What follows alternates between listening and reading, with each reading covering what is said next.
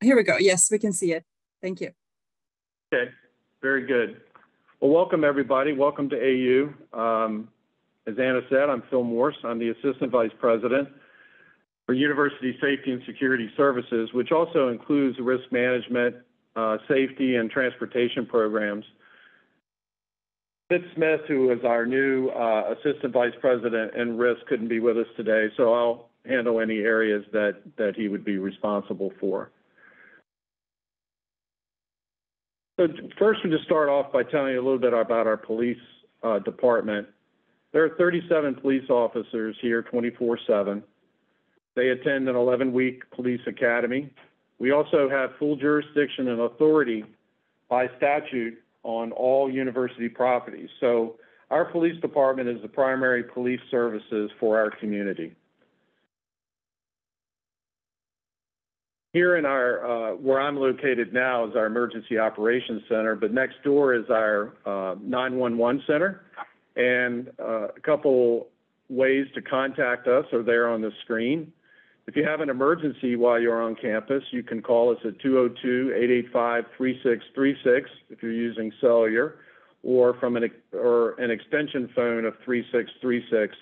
And our non-emergency numbers are there as 2527 and 25 um, I'm sorry.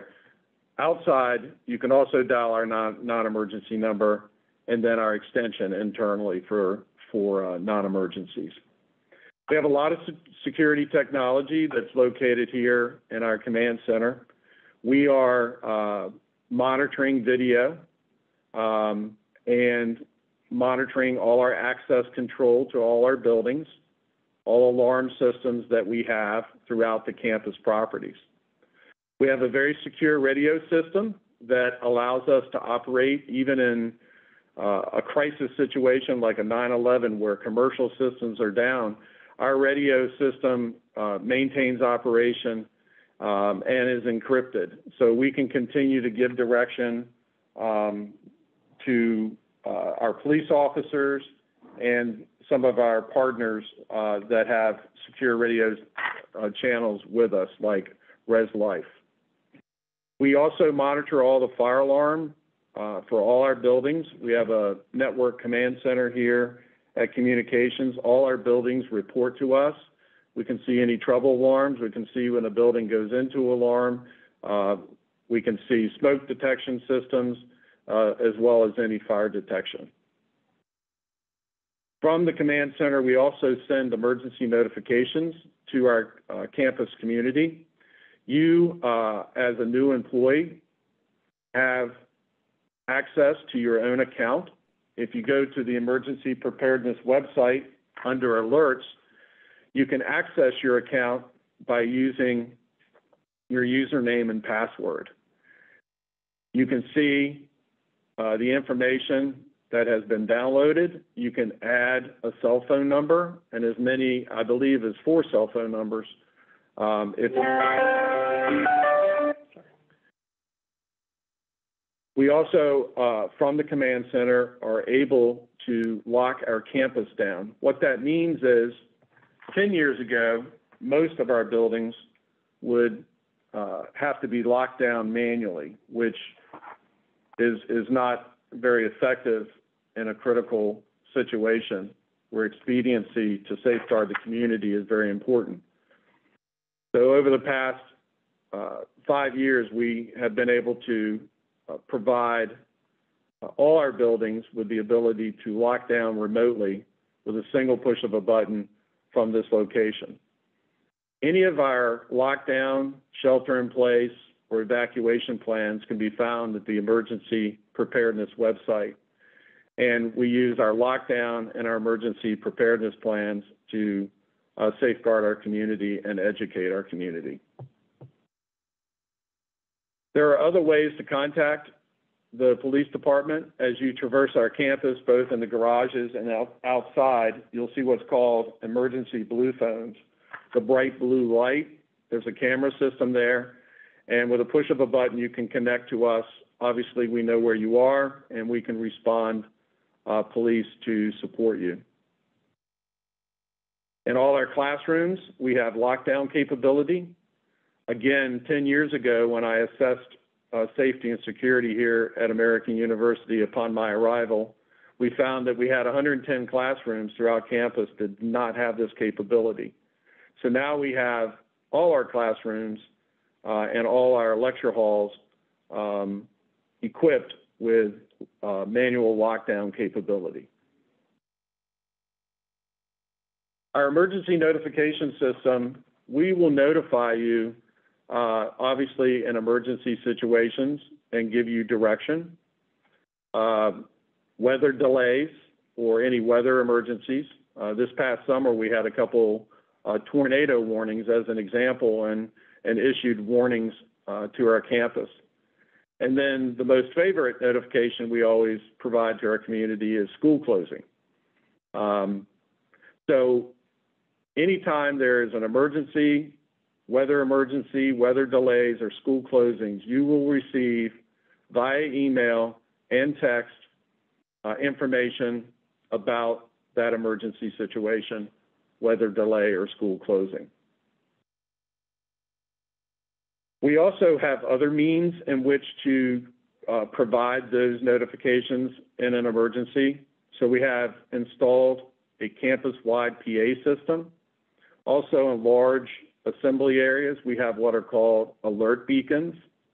We have a network of TVs throughout campus called Four Winds, and we, you know, take over those uh, networks and put banners up with information that we want you to have. We do have Twitter and Facebook and Instagram accounts at American University, and they also follow up with information about any emergency that is occurring. The Rave Guardian app is our safety app. We ask that everybody download Rave Guardian from any app store onto your device. It is a free app. You activate it by using your AU username and credential. And then you can go in depth with your profile uh, if you'd like, um, all the way down to what classrooms that you're teaching in um, and or where your office spaces are. There's also a personal profile that you can fill out. For instance, if you have food allergies. Um, and when you activate the Rave Guardian app, it gives you connectivity to the police department with the push of a button. Once you activate it, it tells us where you are, and it opens up a line of communication. Once these are activated, we respond police immediately to your location. You can also use this while you're in the District of Columbia, so to and from work. And there's also a 911 icon that you can use if you need to uh, notify police while you're en route. There's a virtual escort capability with our um, safety app. You can put where you are, where you're going, what time you'll get there, and you can be monitored virtually. And if you don't arrive or acknowledge your route in the time frame that you've given us, it will activate an alarm, again, show us where you are, and we'll begin to open a line of communication with you or respond to you when uh, it is activated. We are not monitoring and cannot monitor your location unless you use the emergency um, activation. There are also phones in the classroom, and those will ring in an emergency and provide you um, information about what's going on and what you should do. A lot of people bring guests um, to our campus. There's also the ability for guests to sign up through our emergency preparedness website. So if you use, if, if you see, uh, as you traverse campus, you can see that we have a lot of different means to contact you and give you direction in an emergency situation. On your computers, your personal computers, um, you can download uh, the desktop Alertus. So if you're not monitoring your cell phone as an example, but teaching from your laptop, a banner will take control of the screen and alert you to the emergency that is occurring. And you can see uh, here uh, how you would go about doing that.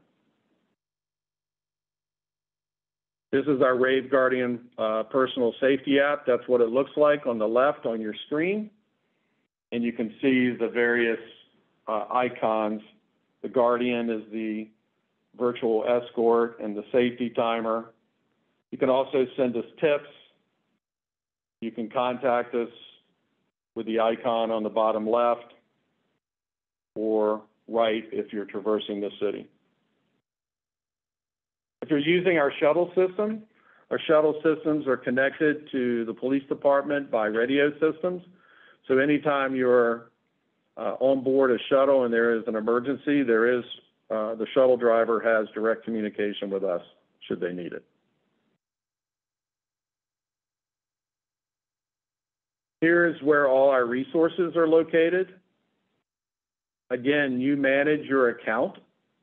You go to alerts, the emergency preparedness website, you will be able to update or add to your account. There are regular uh, fire drills uh, at our residence halls, um, and there's regular testing of our fire and safety systems in our academic buildings. At the beginning of each semester, we will be sending via email from University and Safety and Security Services an email with all our resources, all the links to connect to them, or telephone numbers to make a call uh, to ask questions. We'll send this to you at the beginning of every semester. So you'll probably see this sometime mid-September to the 1st of October. There's also personal preparedness guidance within the uh, website. And also, we established a new global safety program. So if you're traveling uh, abroad, um, there are certain requirements um, as well as uh, safety procedures and tracking that we enable while you're overseas to ensure that you're safe and that you get the information that you need. Threat assessment and management, we have a robust team. Um, and we're, you know, we're committed to the safety and well-being of our community. And this team uh, meets routinely and as needed. And with the simple goal of, you know, mitigating any uh, behavioral threats. The Dean of Students Office has what's called the CARE Network. Anyone can submit a CARE Network report. And if you have uh, any problems or issues uh, with a student, um, we recommend you use the CARE Network as a means in which to get them support uh, that they need. We, we have personal services contracts with psychologists. Um, our AU Counseling Center participates in this.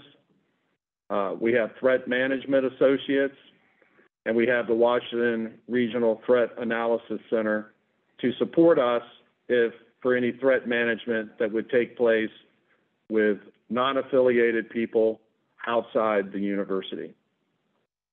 The, the goal here is to assess it and assess it early, refer and support, and then monitor. Um, law enforcement interdiction, that's the last thing uh, that we that we do. Um, and if and if needed, uh, we go through our judicial system uh, in the U.S. Attorney's Office to address any threats that are external from our uni university community. Again, we just wanted to give you uh, some contact information. Don't forget to download Rave Guardian. And as you get acclimated and coming to and from campus, remember that those blue phones are out there for you. Uh, if you don't remember the numbers, if you haven't entered them into your phone yet, um, the emergency phones are there for you to use. And I think that is, we just wanted to be very high level and then open it up for any questions that you may have for us. Thank you so much, Phil. So if you uh, wouldn't mind raising your hand uh, and then unmuting, uh, Rob, why don't you get started? And then feel free to also ask questions in the chat. Thank you. I think I've spoken too much already this morning. I just want to say to Phil a big thank you. Um, as a disabled professor who walks with two forearm crutches, there are times when it is extremely, it is snowy, it is icy. And the fact is that I really can't get from the parking lot to uh, my my basically my uh, office or the building which I teach in, and you guys have picked me up and taken me to that specific uh, you to that specific um, uh, building. And so I can't thank you enough for doing that. And people who are who have a disability on campus, they should know that you are there and available to be very helpful, as you've done for me a number of times. So first off, I wanted to say thank you, and two, to let people know that uh, you guys have that ability to be very helpful to disabled professors. Thank you. You're welcome, Bob, or Rob, I'm sorry. Thank you so much. Uh, next, we'll go to Rodney Hobson. Awesome. Thank you so much. Uh, Phil, thank you again so much. I'm um, Rodney Hobson, acting co-dean in the School of Education down in the Spring Valley building, and I'll be one of the people that will be taking the lead on some of the safety issues that we were so happy to meet with you recently about. Let me just also say, based on the last comment, thank you again for being accessible and responsive to us in that meeting at the end of July. And so I just wanted to just, um, it's probably a, a, a, time for another conversation, but just just thank you initially for, for taking that concern and following up on some issues here down. Maybe a general question about how you, we're, we're not campus, we're not in the middle of campus. And so give us an idea also how extensive your offices are and, and maybe a little bit of background about how you also have jurisdiction over a building that's not very far away, but also keep a steady eye uh, through how you also monitor Spring Valley. That would be really useful for some of our new employees and colleagues as well. Thanks so much, Phil. You're welcome. Thanks, Rodney. And and, and to to everybody here, I am very accessible uh, to the community. When you have uh, problems or concerns, I want you to come to me and express those. And then I will personally meet with you or people from my team will. Um, we, we want you to feel safe um, and we want to be able to have the conversation. So thanks for that, Rodney. Uh, with respect to off-campus, we have a number of off-campus locations.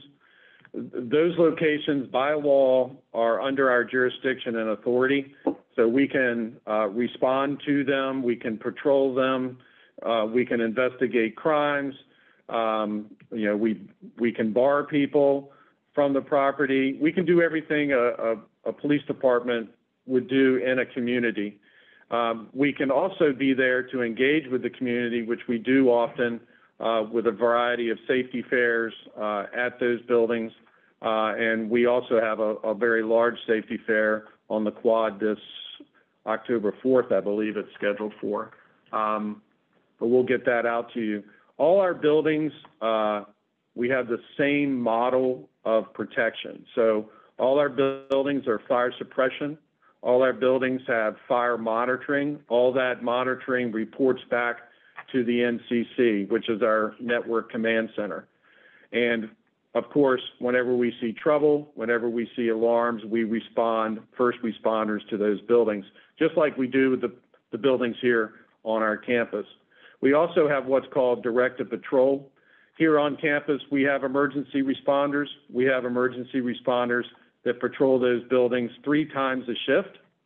So officers will go into the buildings, the exterior of the buildings, walk around, be seen, um, and you know certainly respond to service calls uh, anytime in between. Each of our access points, any access point to our building has camera systems. All our buildings have remote lockdown capability. Um, and uh, with, with the cameras, with the alarms, and with the patrol, that's our primary uh, way to deter and detect and prevent any crime from occurring. If any of those things, uh, you know, still don't make you feel safe or you see things that are unsafe, uh, we want you to give us a call. We want to talk to you about that. Does that answer your question, Rodney? Oh, absolutely, Phil. I was also doing for the benefit of others who um, or new faculty who or others who frequent the Spring Valley building. So thank you so much. All right, You're Phil, I'm going to take a question in the chat quickly before we move to the next person. So this is from a faculty member who is speech impaired, uh, asking what mode of communication is available if they're ever in harm's way while on campus, given that anything that requires verbal communication would not be helpful. Okay, so the forms of notification that we have, I've, I've already put up on the screen. If there's any uh, additional ways that we can support someone, we ask them to contact us and we work with them directly. Because we, that way we'll know exactly how to support them. But, you know, we've tried, uh, we, we, we're trying to use the FEMA model, um, of, of the variety of ways in which messaging can take place, but we also understand that there may be personal needs that we need to go direct and one-on-one with people. Just out of curiosity, and I'm sorry if you addressed this already, do the blue phones have the ability to essentially alert somebody without having to speak into it? I'm sorry, I couldn't hear the question on this phone. Yeah, I, I was asking if the blue phones that are distributed around campus have the ability to to essentially press a button or something to alert you to an emergency without speaking into the phone. Yes, so once the button is, is pushed, um, it rings here. And then, of course, we have cameras on site to see what's happening. Um, and the blue phone actually flashes so that it's easy for us to find. Um, and although you're not talking to us, as soon as you push the button, we're responding officers to that location. Great, thank you so much. I also see in, in the chat, Bridget mentioned that the Rave Guardian app might also be a good option for Antonia's need. Um, so that actually brings me to the other question further up. How can we sign up for alerts? And I think you brought that up, but if you could just reiterate that point, how to sign up for the alerts? So the alert program is not a opt-in. Uh, you can opt out, but you're automatically in uh, when you're employed at American University, and it extracts your email uh, information uh, every morning from Colleague, which is will be Workday soon, but it's now called Colleague. It extracts that information. You own that account. You can go in and manage that account. So go to the emergency preparedness website, look for alerts, and follow the prompts to open your personal account by using your username and password. And once you enter the account, you'll see your email address there, and you can add your cell phone, and I believe you can add an additional three if you'd like. So if your cell phone number changes, as an example, you need to make sure that you go in and make the appropriate edits. Thank you so much. Uh, Antonio, I see your hand up. Did you have an additional question?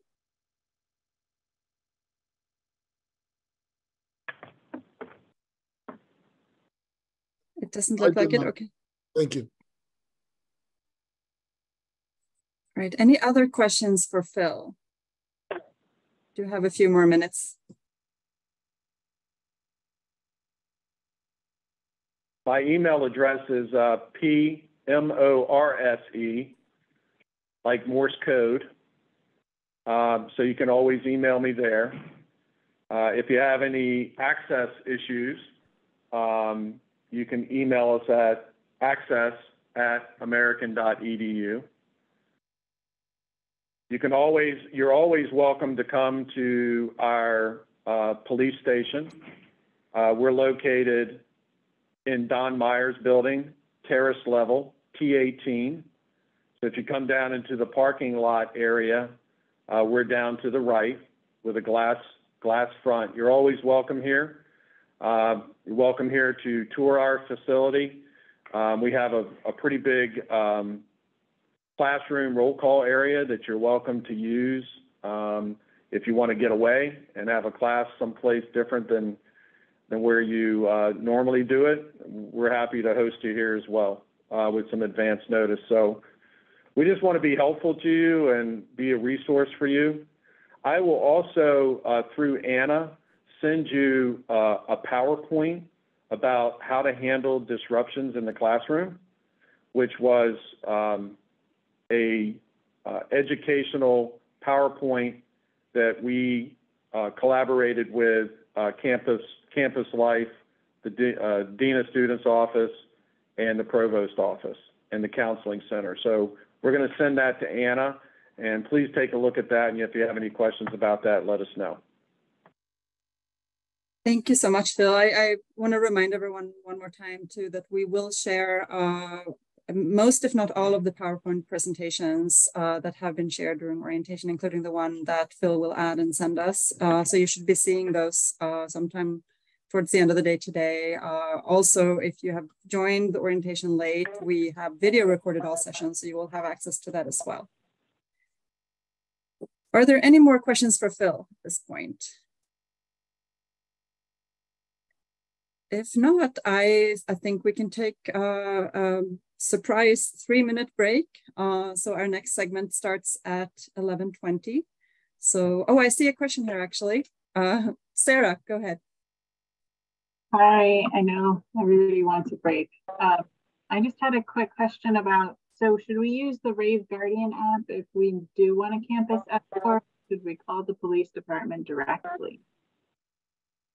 Yeah, call us directly. That's, that way, you know, we can get to you very quickly and there's no, you know, confusion as to the location. And uh, the officers will either come and walk you to wherever you need to go or drive you.